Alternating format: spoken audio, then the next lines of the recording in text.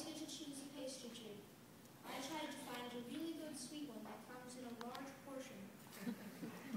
I once had a zucchini cupcake.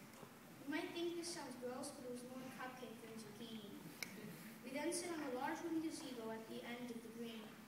Our grandparents come over and talk with us while we lunch.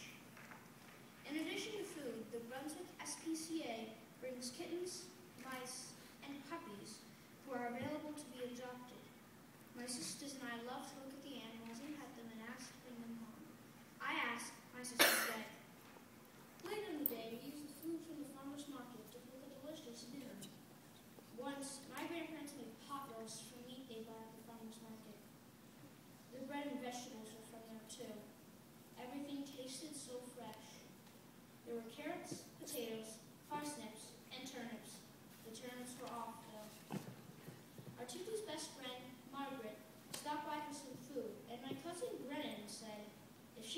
two seconds later, I would have eaten all the pot roast.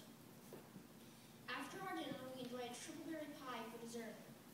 With full bellies, we watched a red violet sunset over the ocean. I realized how lucky I am.